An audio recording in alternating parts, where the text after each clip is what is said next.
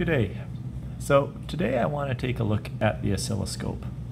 And to look at the oscilloscope, I've uh, gone back about uh, 40 or 50 years and pulled out an old analog oscilloscope. And I think the analog scopes provide a really good introduction into what a scope is and what it does. And although they're not anywhere near as useful as the fancy digital scopes that we have right now, and you're not going to be able to buy an analog scope anywhere except in the uh, secondhand market, if you walk into your shop and there's an old scope sitting around, well, if you've got 10 of them, you might get rid of, you know, eight or nine of them, but keep a couple around because they can do some interesting things. One of which is open the door into some interesting electronics history because the scope really led to a whole bunch of interesting developments, uh, including the displays on radar, television, uh, early arcade games, and uh, that's because they're all based around the cathode ray tube. Now, the cathode ray tube is, of course, what made televisions work, and it is buried into this side of the scope right here. And at the back of the unit, there's a high voltage coil that generates an electron beam, and it fires that electron beam at the screen right here. Same thing that happened in a television. And uh, as the electron beam gets fired at the screen, there are vertical and horizontal coils that generate a magnetic field that can deflect that beam.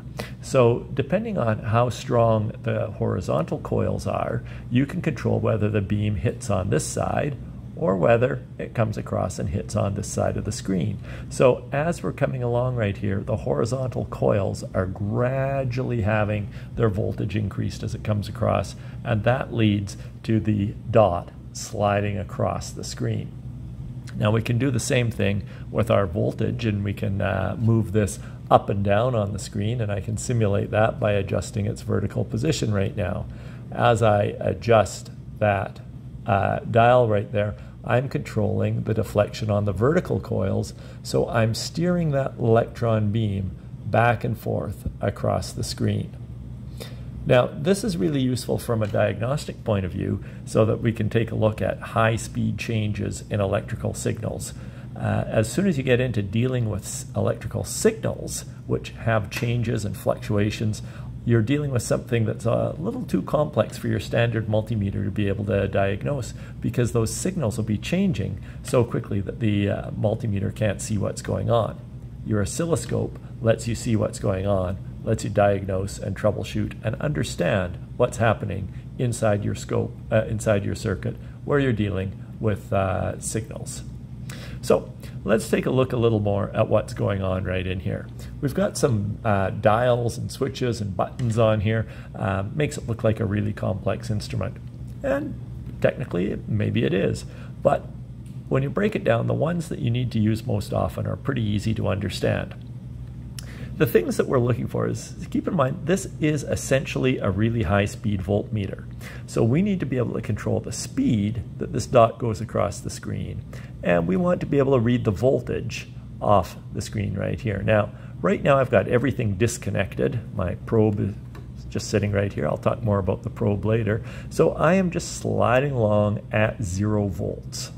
And I've set this up so that my zero volt line is right on the center of the screen. That means if I have a positive signal, the voltage is going to go up, and if I have a negative voltage, that's going to go down. So sliding back and forth across here, so if I was looking at an AC signal, I might see a waveform that comes in and out like that as the dot goes across the screen. Now this is a dual channel oscilloscope, so we can also turn on a second channel right here. You see this one labels them A and B, quite often they're labeled 1 and 2. And if I turn on that second channel, there you can see I've got a second dot coming across the screen right now, and they travel in lockstep, and I can control the position of channel B with that dial. So if I wanted, I could put a second signal down here, and then I could compare uh, the uh, changes in those dots. We're only going to look at one channel on here today, so I'm going to turn channel B off. But you can also find uh, four and six and eight channel scopes, um, all, all depending on the complexity of the analysis that you need to do. Now, right now, I've got the dot moving across the screen as slowly as it can. Well, technically, I can stop it too. But uh, let's uh, let it keep moving across the screen. I've got this dial right here labeled time per division. And I'm in the millisecond setting right here, and my magnification is down to 1x, so I'm looking at 200 milliseconds per division. So when it talks about divisions, those are the big lines on the screen right in here. And so from right here to right here is one division. You can see it's broken down into five smaller subdivisions, but each of these divisions, and there should be five to right there, five to right there. Uh, right now it's going to be taking 200 milliseconds. So the time that it takes to go from the center line to out here, 200 milliseconds, 400 milliseconds, 600 milliseconds, 800 milliseconds, 1000 milliseconds, which is one second. So just watch that dot come along and 1001. There we go. That is one second. And in fact, the scope was far more accurate in doing that than my lovely 1001 would be. Now, we can speed that dot up a little bit by turning this dial. And now I've doubled the speed to 100 milliseconds per division. And you can see it now. There's 10 divisions across the screen. 100, 200, 300, 400, 500, and 1000 milliseconds over here, it should be taking one second to go across the screen. So if we wait for it to start, and 1001, there we go, one second going across here. At 50 milliseconds per division, 20 milliseconds per division, 10 milliseconds per division, now, on the recording, you're probably just seeing three or four dots appearing right here. Uh, that's got to do with the synchronization rate between the camera and the screen. So uh, the camera is only capturing so many frames per second. To the human eye, this is starting to look like a continuous line all the way across the screen. And as I go faster still, now you start to see that continuous line uh, on the uh, on the display screen as well. Right now, I am down to one millisecond per division, so uh, it's taking 10 milliseconds for this dot to spin across the screen. So, in other words, that dot's scanning across the screen uh, 100 times per second, or at a frequency of 100 hertz. Now, as you can see, when we start getting fine lines like that, uh, you can think about television because television worked on the same sort of concept. The electron beam would scan across the screen. It would do every second line. That was called an interlaced display. And so it would come down here, and then a 30th, uh, a 60th of a second later, it would come back up here and it would repeat the uh, odd numbered lines. So it would do even numbered lines, then odd numbered lines, and it would uh, project them onto the screen. It wasn't a particularly high resolution display, but uh, it certainly worked for many decades uh, for uh, communications purposes. You might also uh, recognize that solid line as representative of some old arcade games, and if you think of things like uh, asteroids is one that definitely had vector graphics because instead of using a raster graphics where they scan the line across like a standard television, they actually used an oscilloscope but just sent it signals to draw the asteroids and to draw the spaceship right on here. And it would very quickly go out, scan the electron beam in the shape of the ship, scan it in the shape of an asteroid, scan it over here. And that was why those uh, programs had such nice, crisp, clean, clear lines. And we, we replicate them on our modern display screens, and you can't tell a vector line from a raster line because uh, of the resolution of modern screens. But I tell you, back in the 1970s, you could notice the difference. So anyways, we've got this line coming across the screen right now, and this is telling me that I've got a very smooth zero volt line coming in right here. Well, we'd like to see a little bit of a signal coming through here because oscilloscopes are great at analyzing signals, so we should plug our probe into something to take a look at a signal.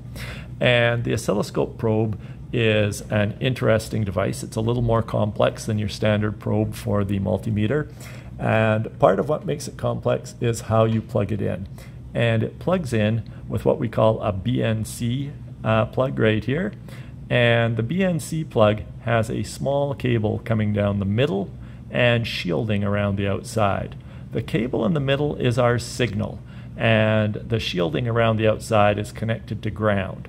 So this connection right here on the multimeter right here. This goes back to chassis ground, so that is connected to the ground of your house. It actually goes through an electrical connection and eventually plugs straight into the dirt. So you've kind of got to watch that sometimes when you're hooking it up and measuring devices that are also set, uh, connected to ground, that you don't get things hooked up backwards because your ground signal definitely is coming off the ground. Now, that gives you a shielded connection all the way around here. There is a braided cable that comes up inside this line, and that braided cable protects your signal line that's coming in from the tip right here of the probe. That protects it from external interference. Uh, you can have external interference coming from any number of sources. Quite often, you get a 60 hertz signal that you would pick up from the electrical wiring in your house. Uh, and we can talk more about induced signals another time. Now, coming out here, uh, your ground comes around the outside, and there'll be a little clip that clips in right here, and this will be your ground connection. So you have to connect this into ground, and normally you just clip it on. I've clipped it onto a test lead right here, so I can plug that into ground on my Arduino board right there. Your signal probe comes up to the tip right here, and uh, this connects with a little spring-loaded tip, and things can fit in there. You can fit a little wire in there. And that's really nice because now your signals are all connected and you can be hands-free while you go back to uh, take measurements or work on your circuit and observe what's happening. There's one other thing, uh, one or two other things you should uh, know about the probe is that this tip comes off and you do have a probe in here. So if you want to probe a signal, you can just touch it onto that uh, right there. You can even touch it to your finger and you'll start to see that you're interfering with the signal just by what you're doing when you touch it right there. So that slides on right there and fits like that. Some probes will also have a setting right on here and that says 1x, 10x, and ref. So the ref is when you're using as a reference. We don't need to use that very often. But what this uh, controls is this actually, it's basically a resistor inside there, but this controls the sensitivity of the probe. And uh, what we can do is on this scope we run at the 1x mode, so you can see the arrows pointing to x1. On most of our digital scopes, we'll run at 10x mode, and the digital scopes can swap back and forth. Um, there's uh, buttons on there to, which I'll talk about later, to match to your probe. But what you need to know is that most of our probes in the shop here, we're going to be running at 10x. X10 as it says. Sounds better as X10. Okay, uh, let's go ahead and plug this into our breadboard right here. And because I've got a test lead on here, I will just pop this into right here. And actually, before I take a look at the LED, let's just take a look at a steady 5 volt signal. Okay, and when I plug it in there, you can see the signal on the scope jumps from 0 volts up to 5 volts. Now, how do I know that's 5 volts? Well, I know that's 5 volts because on the uh, zoom in a little bit right here. And look up a bit at the dial and focus right there please. There we go. So right here it says amplitude per division on this dial. And this section right here is for controlling our vertical. Over on this section we were controlling our horizontal and talking about the time uh, with our vertical right up and down here uh, amplitude per division is in units of volts, and so this is telling me right now I'm at 2 volts per division. Now what that means is that if I set this to be my zero line, you'll recall we were right down there at zero, I plug in right here. Now I've got a steady 5 volt signal because I'm at 2 volts, 4 volts, and you could actually say, well, that's actually uh, probably closer you know, if it was five exactly, it would be right in the middle between those two dots in there. It might be a little under five volts by the time the power gets from the computer out to the board and goes through the board and gets out to the power supply. But that's what we're looking at. We're looking at five volts there. If I bring this up to five volts, you can see right here, this is my zero volt line. Uh, then this comes up to right here, and yeah, that's showing me just a little below 5. We should be getting 5 uh, theoretically, but uh, well, we can check on them uh, more precise device. There we go. So that is a steady signal, and you can use it just like a voltmeter. You don't get a number, you get a position on a graph. But if I take it over here and I look at, at a changing signal, now I'm starting to see some pulsing come in there. Now it still looks like a streak because I'm going so fast. Let me change my time settings and slow this down a little bit. And now we've got a display. It's coming along right here. Well, if I slow it right down, you can see that display jumping from 0 to 5. I'm going to move this back up to 2 volts per division so you can really see that. And there you can see we're coming in. Sometimes we're at 0 volts and sometimes we're at 5 volts. So on, an, uh, on a multimeter, if you're using a voltmeter probe, the voltmeter would have a really hard time figuring that out because is it 5? Is it 0? Is it 5? Is it 0? It keeps changing so fast I can't keep up with it. But on the oscilloscope, you know, we can just keep coming in here and making it run a little bit faster and a little bit faster. And now I'm at uh, uh, 10 milliseconds per division. And you can see it's taking almost the entire screen to go across right here. So we're starting just over here. You can see it's high right here, goes low right here, comes back up, and it actually goes high when it's off the screen and then loops back around to this side and goes low again. And we're looking at about uh, 10 divisions. 1, 2, 3, 4, 5, 6, 7, 8, 9, 10. 1, 2, 3, 4, 5, 6, 7, 8, 9, 10. Yes, there are 10 divisions on there. I can't count to 10. Uh, so 10 divisions at 10 milliseconds per division is giving us a um, uh, uh, 100 milliseconds per pulse, and that is indeed what I put into the code. I just took the blink routine and dropped it right in there, and I have that uh, blinking at 100 milliseconds.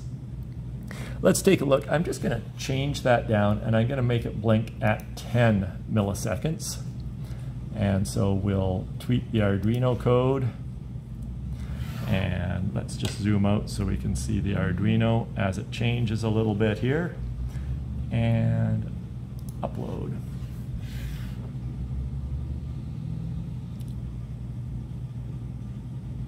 And now to my eye, that Arduino uh, is making that light be solid red. You can see a little bit of flicker on it on the camera screen. And up here, you can now see that each of our pulses is filling up one um, division right here and we're set to 10 milliseconds per division. So that's 10 milliseconds of off, and that's 10 milliseconds of on, off, on, off. And so now you can get in and you can start measuring the timing really, really accurately. So as you can see, 10 milliseconds is way too fast for the human eye to pick out, but the oscilloscope is picking it out no problem at all. In fact, the oscilloscope is pretty good. I can take that down to one millisecond on and one millisecond off. And I'll upload that code. And now you can see there's, well, on your display, it's looking a little bit longer. On mine, it's really small divisions. Let's speed this up. And you can see what we're actually looking at in here. And there we go. This is what I'm seeing as well. It's showing up on the screen nicely. I'm now set to one millisecond, one millisecond per division on the time. And let's just zoom in a hair and make that easier to see. And there you can see that the display is set up one millisecond of on and one millisecond of off. So you can get in and you can start analyzing the time really easily. And where something like that might come into interesting is if we go to uh, one millisecond of on and two milliseconds of off. Goes blank while it uploads. And now you can get in there and you can start analyzing what's going on with your signal. And you can say, oh, I'm on for 10 milliseconds and I'm off for 20 milliseconds. And I'm hitting just under 5 volts as my peak voltage. Uh, really, really useful when you're looking at signals. Now, we're looking at a digital signal right now. Analog signals that we have for audio will be much smoother and more, uh, more ripply and sometimes a little uh, more difficult to capture. But this gives us a nice stable signal that we can take a look at for our introduction on how to use a scope. Now, in order to capture this image, there are a couple of controls that you do have to work with, and one of them is the trigger. Uh, you'll notice that we've got it set up with our timing so that we start with a new high right here every time it goes high, low, high, low. And we can play with the X position of that a little bit. And we can move our signals back on the screen or forward. So if we wanted to put a specific point somewhere on the screen, we could do that. So you can see here, it waits until it sees a signal go high. It grabs that. There's on for 10 milliseconds. Then it's off. It comes over here, on, off. And we can position that exactly where we need it to go. And that sometimes helps with uh, measuring what's going on on that screen. Uh, we also have something called the trigger level, and it's a little easier to see on the uh, digital multimeters, but the trigger level can be adjusted and we can turn it up and you can see there I went too high and I set my trigger level into this region right in here and that means that it's no longer picking up that trigger and pausing it and I bring that trigger level back down and oh, I went too low, it's down here, and now it's not catching that uh, trigger. So figuring out what your trigger level is, it's an internal normal trigger running off of channel A, so we're using this right here. And getting that trigger level set up right will help freeze your signal on the screen so you can see what's going on. And uh, that's sort of the basics of a scope. It's really a fancy high-speed voltmeter, but the abilities that it gives us are really, really uh, impressive. And when you start doing some neat things and mixing signals together, you can get some really, really cool displays. And uh, we'll, we'll talk about that later on. And we'll also talk about how this translates into using both a, um, a digital scope and how it works uh, with a USB scope because in our class uh, we're going to build a USB scope called the DP Scope SE where we'll use your computer as the display screen and we'll have a PIC microcontroller based device that does all of our data reading for us. And the one we're going to build costs about 30 bucks and it's got a resolution of 300 kilohertz. Uh, these, these scopes here go up to 15 megahertz and the scopes that we have on our desk in the shop go up to 200 megahertz. So uh, the more you spend on a scope, the fancier the scope, uh, the better the uh, resolution that you can get and the more features you have. This is a nice old-fashioned uh, analog oscilloscope uh, that we can use to display all sorts of data and uh, a little bit of electronics history because if you take a look at all of the old devices uh, they were pretty much based on a cathode ray screen and the electron beam coming out and hitting the phosphors and making them glow right here.